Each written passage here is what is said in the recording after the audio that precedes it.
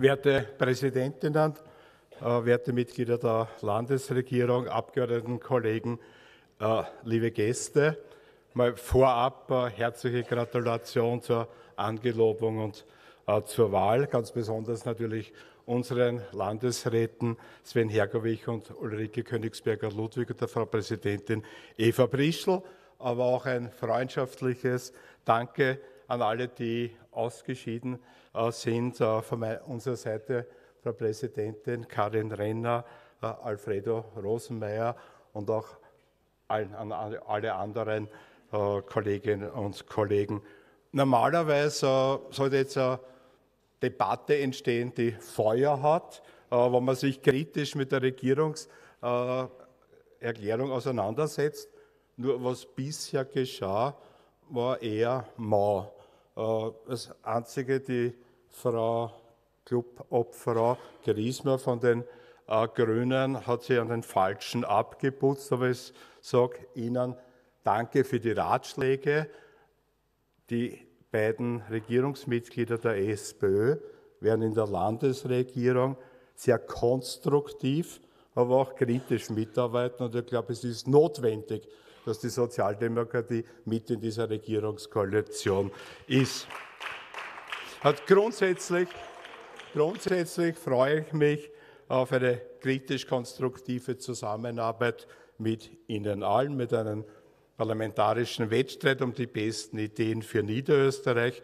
Natürlich ist es meine Aufgabe in den nächsten fünf Jahren, möglichst viel sozialdemokratische Inhalte umzusetzen aber auch andere Parteien haben gute Ideen. Leider sind die nicht in der Regierungskoalition vertreten. Äh, mit dem heutigen Tag, und da bin ich bei der Kollegin Colline, hätten wir eigentlich einen großen Schritt machen können nach dem Wählervotum vom 29. Jänner. Weil bisher hat Miteinander in Niederösterreich bedeutet, nach der Pfeife der ÖVP zu hupfen. Das hätte sich ab heute ändern können. Aber dafür hätte die ÖVP den Wählerwillen vom 29. Jänner akzeptieren müssen und die FPÖ ihre Wahlversprechen einhalten müssen. Leider ist genau das Gegenteil passiert. Uns wird ein ÖVP, FPÖ oder FPÖ, ÖVP Arbeitsübereinkommen auf dem äh, Tisch geknallt, das von einem Weltbild geprägt ist, das eigentlich jeden liberalen, weltoffenen, sozial denkenden äh, Mitbürger den kalten Schauer über den Rücken laufen lässt. Es ist unsozial, es ist visionslos, es ist unmenschlich in mehreren Punkten, rückwärts gewandt und zukunftsvergessen. Das hat sich Niederösterreich tatsächlich nicht verdient.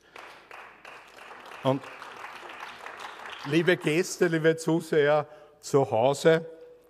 Eigentlich ist es eine Zumutung, aber wenn Sie mal kompakt nachlesen wollen, wie Politik nicht geht, dann blättern Sie dieses Arbeitsübereinkommen äh, durch und wählen Sie bei nächster Gelegenheit die SPÖ.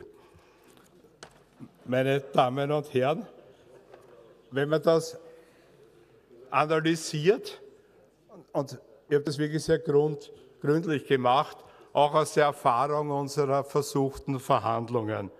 Wer nicht bereit ist, die Profiteure der Teuerungswelle für die Entlastung der Bürgerinnen und Bürger zur Kasse zu bieten, kann nicht unser Vertrauen haben.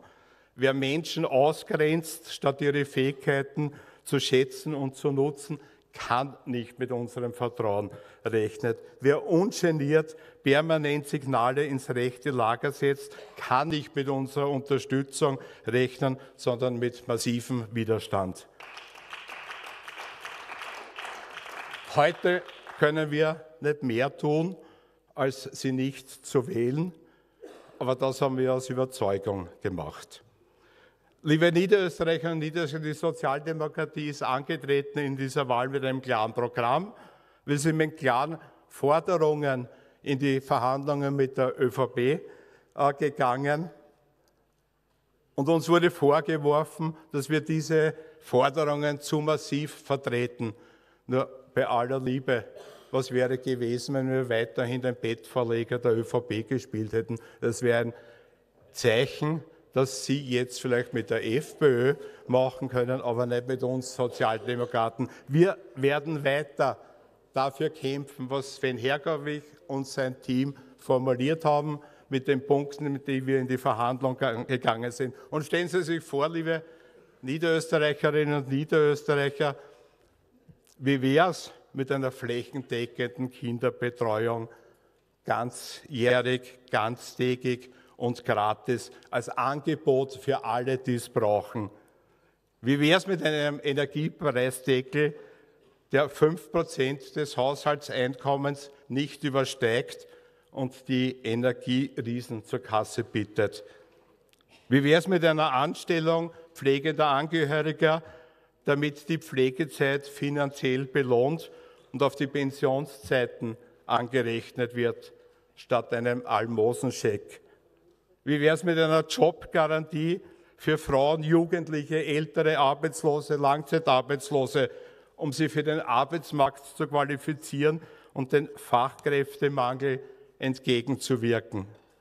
Wie wäre es mit einem Investitionspaket für den ländlichen Raum, um der Landflucht entgegenzuwirken und die Lebensbedingungen für alle Generationen zu verbessern? Wie wäre es mit einer sozial gerechten Umwelt- und Klimapolitik, bei der der CO2-Ausstoß der Feind ist und nicht die engagierten Jugendlichen von Friday for Future?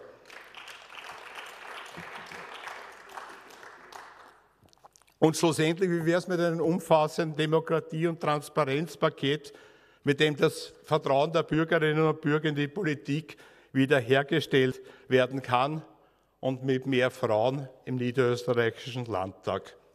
Meine Damen und Herren, dafür haben wir uns eingesetzt und dafür werden sich unsere Landesregierungsmitglieder Sven Hergerwig und Ulrike Königsberger-Ludwig in der Regierung die sozialdemokratischen Abgeordneten hier im Landtag und im Bundesrat massiv einsetzen. Aber die ÖVP hat sich anders entschieden, weil ihr, wie gesagt wurde, die FPÖ inhaltlich näher steht als die SPÖ. Das ist euer gutes Recht. Zitat äh, Frau Landeshauptmann Mikkel Leitner.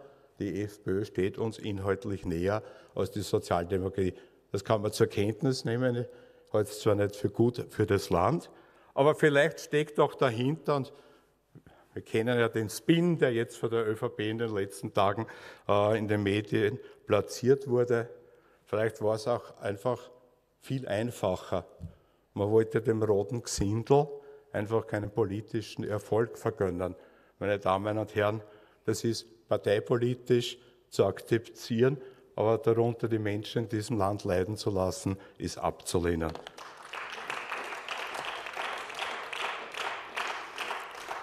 Schau, auch wenn Sie heute das versuchen, gegen die öffentliche Meinung, gegen Künstler, gegen NGOs, gegen die Jugend äh, in diesem Land, gegen die Wissenschaft, diesen Pakt abfeiern, wenn Sie den versuchen, den Verhandlungsverlauf vom Kopf auf die Füße zu stellen, und uns für den Abbruch der Verhandlungen verantwortlich machen. Den Koalitionspartner ÖVP habt euch ihr selbst ausgesucht. Und ich sage euch das in aller Deutlichkeit, die Suppe, die müsst ihr selbst auslöffeln, aber bitte nicht auf Kosten der Niederösterreicherinnen und Niederösterreicher, denn es steht viel auf dem Spiel.